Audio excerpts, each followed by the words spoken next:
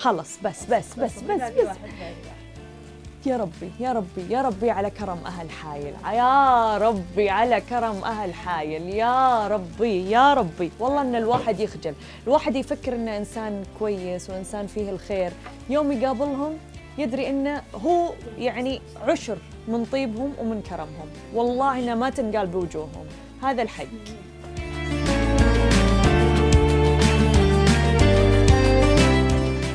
وهلو هلو حياكم الله بحلقة جديدة من على فين. لسه مكملة معاكم المشوار في السعودية وهالمرة من شمال غرب السعودية. مدينتنا لليوم من الناحية التاريخية مروا عليها عاد وثمود وإرم من بعدهم الطائيين والعباسيين. من الناحية الجغرافية تحتوي على أكبر جبلين اللي هم آجا وسلمى وفيها النفوذ الكبير. من الناحية الإقليمية هي سابع أكبر منطقة في السعودية. جوها معتدل بالصيف وبارد بالشتاء. حياكم الله في عروس الشمال وبوابتها حايل! يقول لك إذا تبغى تتعرف على أي مدينة لازم تمشي بشوارعها تسولف مع ناسها وتاكل من أكلها الشعبي. وعلشان كذا اليوم جينا وبدينا مشوارنا من الأسواق. هذا السوق يفتح من الساعة 8 الصباح وما يقفل إلا قريب الظهر. بعد كذا يقفل له ساعتين ثلاث يرجع يفتح مرة ثانية عند العصرية. عندنا سوق برزان الشهير في ملبوسات نسائية في ذهب في أقمشة كل احتياجات الرجل والمرأة. لكن على اليسار عندنا السوق الشعبي. في حلويات شعبية في أعشاب عطرية وفي منتوجات كثيرة وبهارات تشتهر فيها حايل. تعالوا نكتشف ونجمع بعض الهدايا.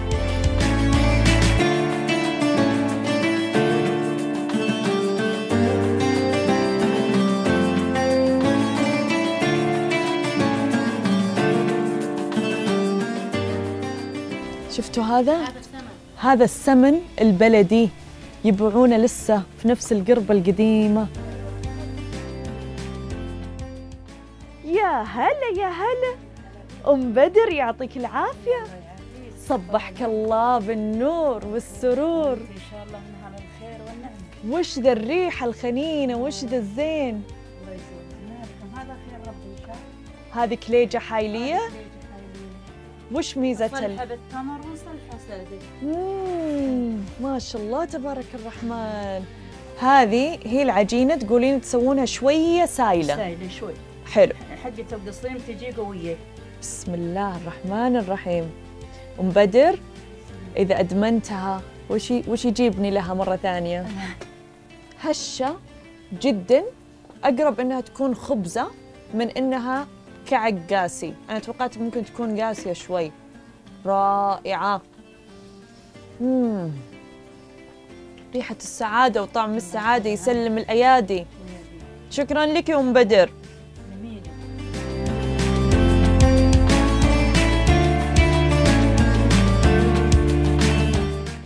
وبحركة جدا بسيطة وعلى رجولكم تقطعون من السوق الشعبي وتكونون بوسط سوق برزان أهم منطقة تجارية في حايل. صحيح أن حايل فيها مجمعات تجارية كبيرة فيها أهم الماركات والمحلات التجارية العالمية بس هذا السوق له أهمية جدا كبيرة.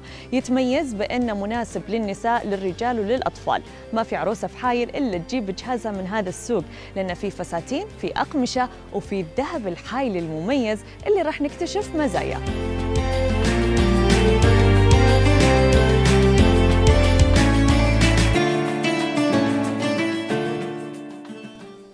والف الصلاة والسلام عليك يا حبيب الله محمد كل اللهجات بلولش بزغرط وبغطرف لنفسي. أنتم متخيلين ان الوحدة تلبس الرشرش بهذه السهولة؟ أنا صارت معي قبل 17 سنة والحمد لله لكن من قل عقل ما ادري وش جاني رحت وبعته على أساس إنه لا ونبغى الستايلات الجديدة وهذا ما ينلبس إلا مرة في العمر وبالأفراح وبالمناسبات. أنا الحين أعترف بعد كل هالسنين إني قليلة عقل. المفروض الوحدة إذا جابت شبكتها أو طقم عرسها ما تفرط فيه بتاتا إلا بالشديد القوي، ولا أنت وش رأيك؟ ألا والله بالعكس كلامك منطقي وهو عين الصواب يعني يقولوا زينة وخزينة زينة وخزينة. الذهب معروف أنه زينة وخزينة. هذا اللي علي. نعم. إحنا نسميه رشرش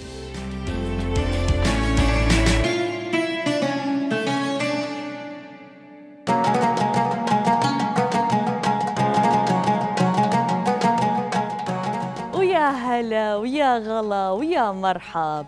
صحينا وتقهوينا ورحنا السوق الشعبي. وصرت حايلية شمرية على كيف كيفكم.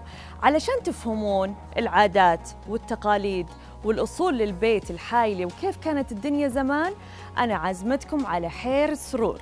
حير السرور مزرعة خاصة حولها مطلق إلى مكان للتراث وإلى القصص اللي تروى عن البيت الحايلي. مكان جدا مميز لكن تفاصيل أكثر راح يخبرنا عنها أبو مشعل. يا هلا يا هلا ويا مرحبا. حياك الله يا شمرية. إي والله كيف شمرية ولا؟ من بشمرية؟ جارتنا البركة. حياك الله. نمرة والسمارة. يا سلام. ها الحال؟ الشهادة الأصلية. الحمد؟ لله بخير الله جارتنا يسعدك. البركة. يا هلا.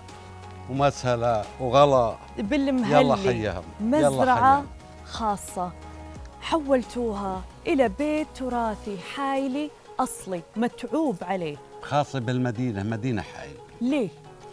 آه هذا تراث فكرة الأخ مطلق أبو ناصر. إيه؟ شفتي؟ إحياء يا طيبة العمر إحياء لتراث ابائنا وأجدادنا وبنفس الوقت حنا عشان لا نسلبهم نسل- نسلب فكرتهم وحقوقهم. ولذلك جسدنا جميع الأشياء اللي كانت متواجدة جسنا في جسدنا في قرية واحدة. هذا يحكي مدارس المدارس الأولى. هذه صاحبة البيت اللي هي الأم. هذا مطبخ أمهاتنا. هذا به فيه جميع الفنون. حياك الله بحاره البزيعي. حارة, حارة البزيعي. البزيعي. وش هي؟ حارة البزيعي تشمل عدة عوائل جيران متعاونين فيما بينهم. آه. شبتهم الحال وجماعة يطلعون يطلعون للبر الجميع ويطلعون لكل أماكن الجميع إنما الحارة هذه اللي تحتوي على هالعوائل هذولا. يعني كمباوند بمفهومنا الحالي. نعم نعم. هذا هو حيها. هذول أولادهم اللي على آه. السيكل اللي عنده سيكل زين السيكل. البناية هذه تلعب لعبة وشي العتة. العتة. عارفين العتة؟ أعتقد أن أتوقع اللي يرمون ال- الحجر ولازم أيوة إنها أيوة تنط أيوة. عليه. هذه تمام. هذا اللي ينتظر الأسرة لما تنتهي هذه. هذه الأم هذه جاية من السوق بتقضي حاجات أشياء. يمكن عندها عيد بكرة يمكن عندها حاجة ثانية. تقضي بعض الأشياء الأمور البيتها جميل. طبعا هذا هو الحي اللي حت عليه. بيوتهم هذا بيوتهم هذا- بيت عائلة وهذا بيت عائلة هناك بيت عائلة. هذا هو الحي اللي نسميه الحي وهذا يجلس في ال- الشايب. الشايب أو خلينا نقول إنه مشرف الحي أو وقتها لا ما عندنا العمدة عمدة ولا- عمدة لا ما, ما عندكم عمدة عندنا. ما عمده بس الشايب. إنه يقعد و... كان الشيبان هذا يجلسون بعضهم بالمشراي عشان آه. الشمس إذا كان في الشتاء ياخذ فيتامين د نعم ياخذ فيتامين د مجانا يا سلام. مجانا نعم, نعم تفصيل تجسيد مكلف لأبعد الحدود والدخول مجاني. بارك ليه الله يا. جماعة الخير دخول مجاني. هذا يحتاج صيانة يحتاج ترميم يحتاج يا- رعاية. يا أم فيصل- أبي أقول لك كلمة. أرجو لا يدور, لا يدور شيء براسك شيء اسمه ماديا. حنا اللي ندفع المادة من جوبنا من أجل إسعاد الناس. المعارف والعلاقات مع الناس الثانيين شرواكم. يعني هذا اللي اكتسبنا اكتسبنا علاقات مع مع داخل المنطقة ومن خارج المنطقة وبرا المملكة. وأكيد. هذا هذا أكبر ربح لنا. هذه غرفة العروس تجهيزاتها كاملة متكاملة وقصص لازم إنها تروى. هنا الزواج أو عقد القران يتم بنفس الليلة اللي يصير فيها الزواج. مو قبلها بأسبوع قبلها بيومين. لا الرجال يجي يجيب جماعته معه وإمام المسجد هو اللي يكتب عقد القران. يجتمعون بهذه الغرفة. فاحيانا يصير في مواقف محرجة يصير في طلبات مكلفة. رجال خذوه فغلوه ما يمديه إنه يتكلم ولا إنه يقدر يرفض أي حاجة. برضو من القصص الجميلة اللي موجودة في أعراس حايل كل ياخذ المراية من جاره أو من الأسواق المحيطة من حوله فقط لتزيين الغرفة في ليلة الدخلة. هذه طبعا تعتبر من أهم التجهيزات. وأكيد عطورها إكسسواراتها جهازها بالصندوق ملابس الزوج. ويا عسى مبارك وسعيد على العرسان.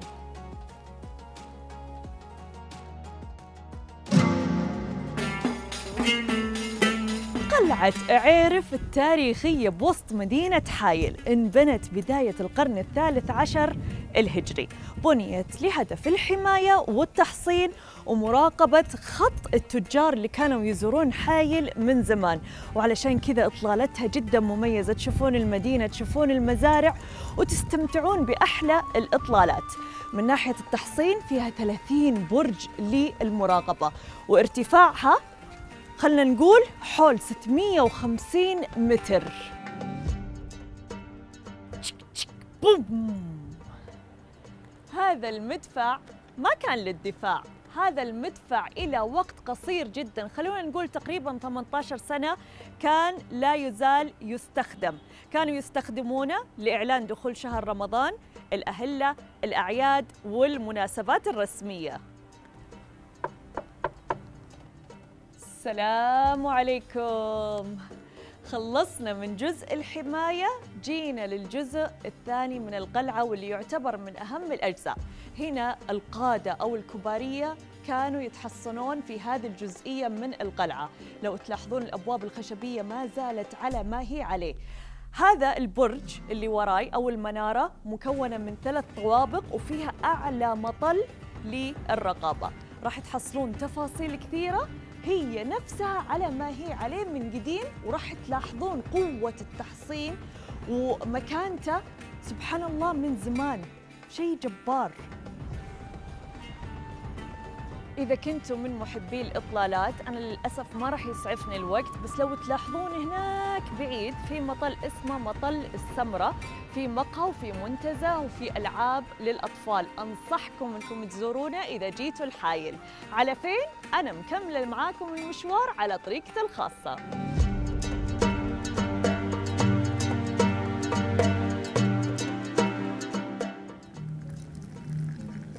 الله! على البال كل التفاصيل على البال. معقولة يا جماعة؟ أحد يطيح في غرام مدينة من أول يوم زيارة لها؟ هذا اللي أنا حسيت فيه في حايل. من أول ما دخلت الديرة وهم كرم وضيافة ولسان عذب ويا بعد حي يمين ويا بعد حي يسار وكلام يرد الروح. بعد حي كلمة شهيرة هنا تعبير عن المودة وعن الحب وعن الإخاء. قالتها بنت حاتم الطائي لما قالوا لها أن أخوك عدي راح لبغداد للعراق. فمن وجعها قالت يا بعد حي.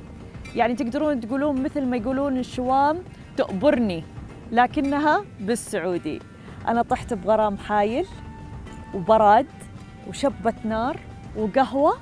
بكرة مشوارنا يتجدد بعلى فين ونكتشف حايل أكثر وأكثر.